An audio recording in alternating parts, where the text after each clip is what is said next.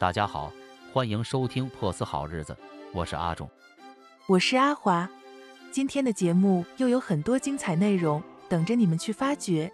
无论你喜欢美食还是社区故事，今天都不能错过。首先，让我们介绍一下珀斯的越南社区。自从七十年代越南战争结束后，大批越南人为了避开战乱，来到澳洲寻找新的生活，珀斯也成为其中一个主要的落脚点。越南人在这里建立了一个充满活力的社区，他们非常重视家庭、教育和传统文化，并且成功将这些价值观带入澳洲社会。没错，越南人的生活方式是传统与现代的完美结合。他们会热烈庆祝农历新年和中秋节等重要节日，这些活动不仅保持了他们的文化传统，还有助于促进社区团结。越南人也特别重视饮食文化。传统的家常菜深受欢迎。在中华社区服务 （CWCC） 的社区中心，我们有不少越南长者，他们在这里享受多元化的庆祝活动、艺术手工和体能锻炼。他们喜欢互相学习交流及分享植物和蔬果种植的经验，并且热衷于唱歌。中心里经常充满他们优美的歌声。我们现在介绍一位我们 CWCC 的资深员工范玲 Lin Fan。范玲已经在 CWCC 工作了十六年，她的职责非常广泛，从客户互动到社区中心的日常运作，她都有参与。正如范玲所说，我几乎在 Hub 里面做过不同岗位。对于范玲来说，CWCC 不仅是一个工作场所，更像是她的家。她说：“我喜欢这里。”因为每个人都带着笑容。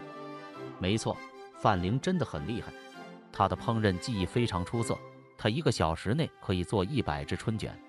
范玲从十三岁开始和姐姐学着玩烹饪，到十六岁时已经将厨艺变成了一门生意。她有自己的花园，种植新鲜的薄荷和白黄瓜来腌制春卷。她对 CWCC 的热爱和对烹饪的热情，使她成为我们社区中不可替代的一员。说到春卷，不如我们给大家推荐几款我们觉得很好吃的特色越南春卷。第一款是越南春卷，用米纸、米粉、生菜、薄荷叶、虾和猪肉制成。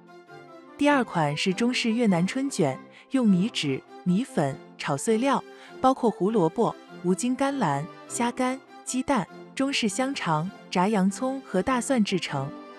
还有一个越南春卷蘸酱，用海鲜酱。糖、酱油、辣椒和新鲜青柠汁调制而成。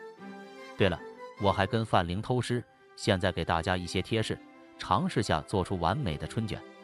首先要准备食材，准备好所有馅料，确保有干净的平面来卷春卷。然后进米纸，用热水填满一个大碗，快速进一张米纸，直到变软。之后排列馅料，将软化的米纸放在平面上，首先放一片生菜。再加其他馅料，最后折叠和卷制，将米纸两侧折起，然后卷紧。听得我都流口水了。我们不如休息一下，回来再跟大家聊聊其他在 CWCC 的越南长者故事。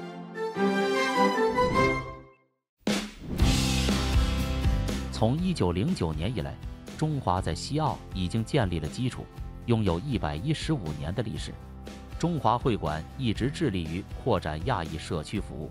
中华社区服务是中华会馆的附属机构，一直专注于长者和残疾人士的护理服务，积累了四十年的专业服务经验。今年的主题是“知心共进”，意思是要与社区人士一起携手前进，打造一个更和谐、更美好的社区。如果大家想了解更多关于中华社区服务的信息，可以访问我们的网站或者拨打。九三二八三九八八查询。那么，我们大家记得关注中华社区服务 CWCC，我们一起努力，建设更加美好的社区。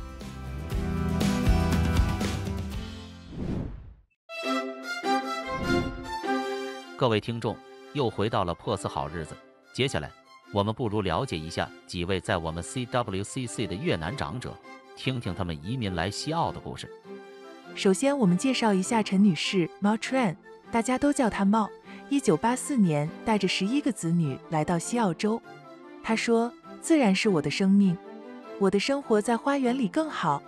猫平时喜欢参加社区活动，它一个星期有三天会来到我们 CWCC 的社区中心，并且在自己的花园里花很多时间种植各种植物。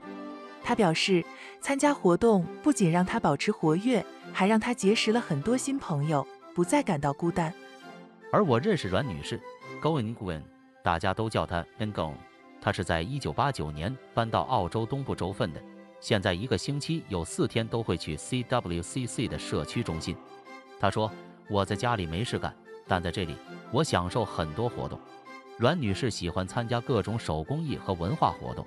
她表示，每次参加活动都很开心，还可以学到很多新东西。还有一九八一年来到澳洲的邓先生 Tan，最初他比较喜欢待在家里，不太愿意出门。不过，在 CWCC 家居服务的支持下，邓先生对生活的态度发生了显著的正面变化。是啊，邓先生的照顾者 Trent Tan 曾经写过一封表扬信给 CWCC。感谢他们对邓先生的出色照顾。他赞扬 CWCC 的同事具备专业出色的协调能力和以客户为本的建议，总是会首先考虑邓先生的需求，并通过良好的沟通技巧让家人知悉最新情况。另外，邓先生的家居护理工作者对他的愉快生活也起到了关键作用。他们非常了解邓先生的健康和护理需求，定期向家人通报他的状况。不仅重视他的愉悦感，还非常尊重他日常生活中的大小决定。两位工作者与邓先生沟通良好，通过幽默感、敬业的支持和对他的尊重，让他一直都心情愉快。他们勤奋和专业的护理方式，确保邓先生生活在一个安全和支持的环境中。Trent Tan 对这些支援工作者的表扬，反映了他们对邓先生及其他客户所提供的优质服务。这一集我们好像去了小越南一样，感谢各位收听《破四好日子》，我们下集节目再见。再见。